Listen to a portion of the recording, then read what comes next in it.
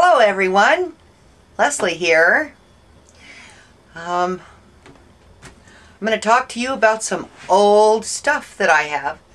This is um, SEI. I've never heard of that paper company. This paper collection is called Moonrise. And this SEI is out of Logan, Utah. I don't know what paperweight this is, but this is heavy paper. Really heavy cardstock. Um, and it's it's really pretty. It's got foil, gold foil. I have a video about my paper obsession, which I've kind of passed it off onto somebody else. And you can check that video out here. Um, but I'm going to be using some of this paper that has really pretty gold foil pieces on it. And I like the orange colors. Now I have a bunch of tin cans and this was part of one that I had started and I painted the inside of the can. It still, when you put stuff in, the paint will come off, you know, when you, after a while when you put these in. So I'm not going to bother painting the insides of these cans. Um, but I have, I have two of this size. I don't know what size these cans are. This measures a little over five and a half inches tall and three inches wide. These two do. This one is a little over four and a half inches tall and it's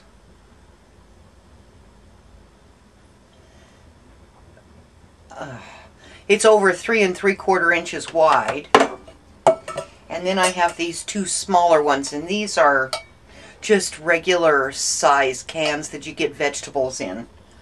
Um, my plan is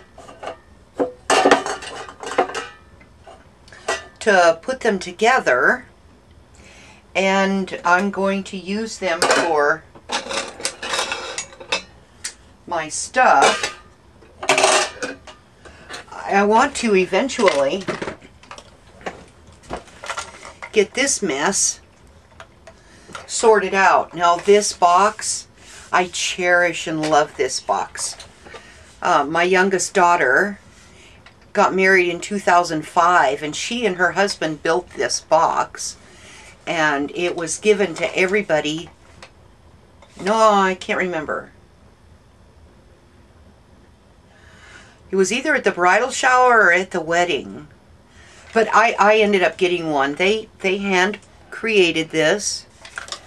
And it was just, just like this, just the plain wood. They didn't paint it or anything, and I've been wanting to do something with it. So I'm not getting rid of this. This is a keepsake for me. But I need to I need to manage my junk. So what you do, if you haven't already done this, if this is the first time you're doing something like this, you measure each can has a ring at the bottom and a ring at the top. And what you want to do ideally is get your paper to fit between the rings. You can paint this. It's really easy. Just use your favorite color acrylic acrylic paint and and paint the rim both the top and the bottom if you don't want if you don't want just the plain metal to show. I'm, I'm not going to get that fussy because this is really the first time that I'm doing something for myself.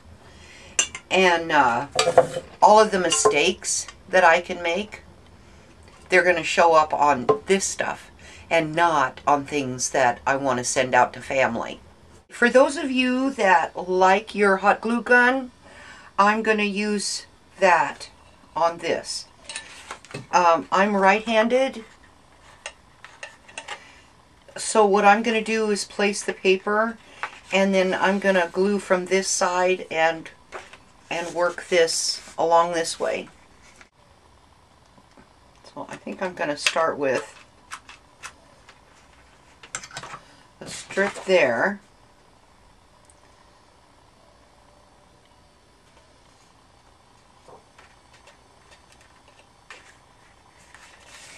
to start this. to put a new one in there. I put, put it against my chin. Push it down. Get some glue there and then some down here at the bottom.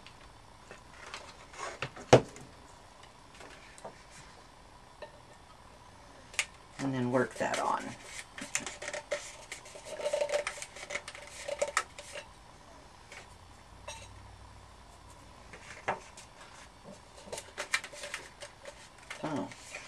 I think I better go down the thing as well.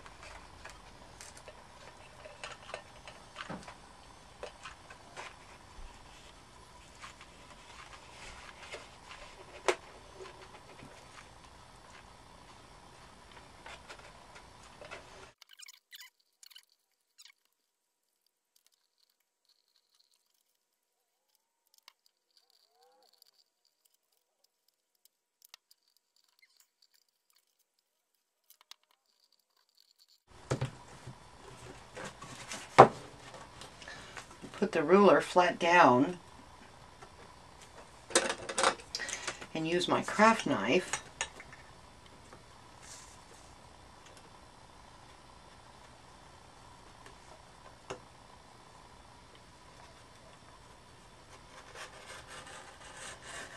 To score along the paper and uh, try not to cut my thumb off I'm doing it. Oops.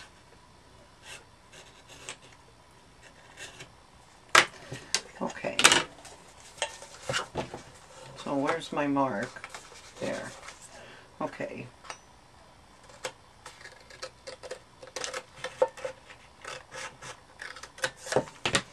Now I'm going to save these scraps because I'm going to do a video on how to make scraps for your card making. All right. Now I'll get this piece glued on.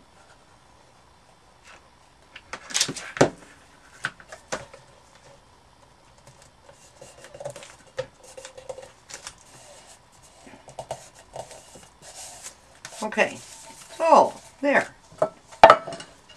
Look at that. There's two pretty cans. Okay, I've used this dry adhesive. I put one strip down there and then and then started on either side of that strip and went around. Hopefully this will work better. And this time I'm going to be using this striped paper. So I'll take that off.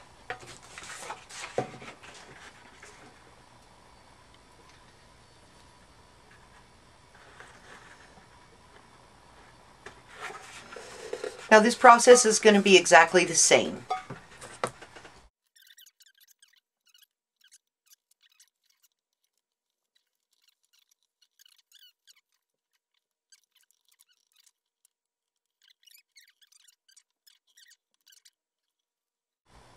Well, okay, I'm just going to go ahead and put that on and then come over here and then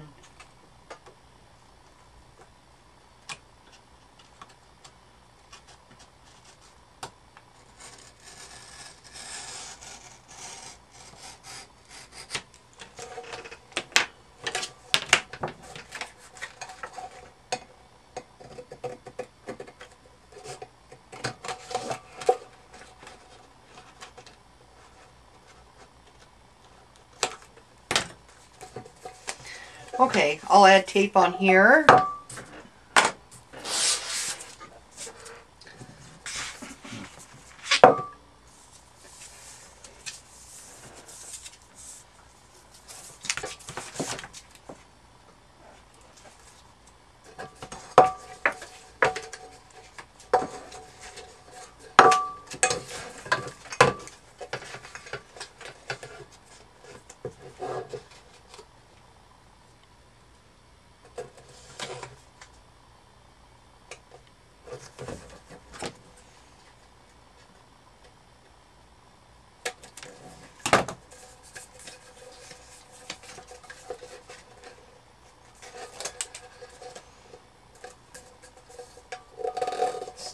Down. Okay, there. I have this white lace trim that I've had for a really, really, really long time.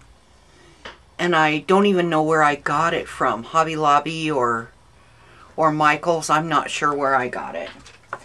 And then I have these rhinestone things that I did pick up at Michael's for a dollar a spool. I folded the lace over a little bit.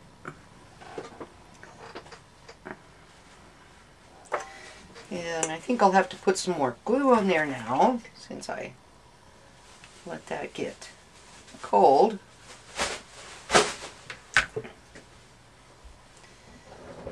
Stick that on. And then I'm running a little bit of hot glue out and putting the lace on just under the lid.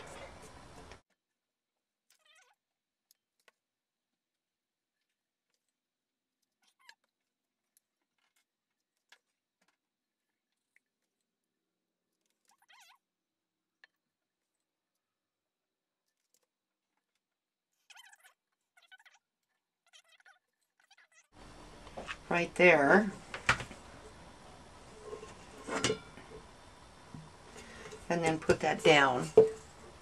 And then I'm going to use this stuff. So I'm going to start right here.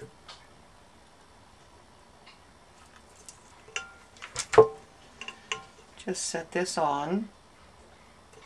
Ow, ow, ow, ow, ow, ow, ow.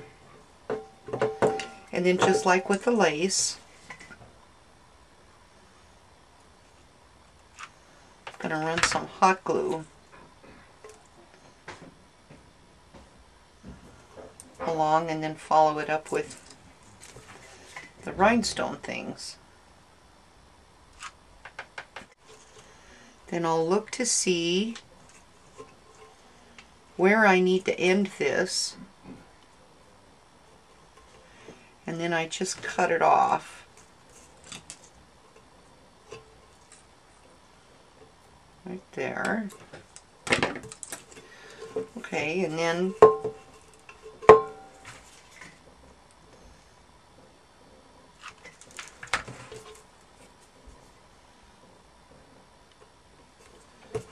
and then just set it. Okay. And then all these crazy glue webs. And I'll put a picture of, of what it looks like finished.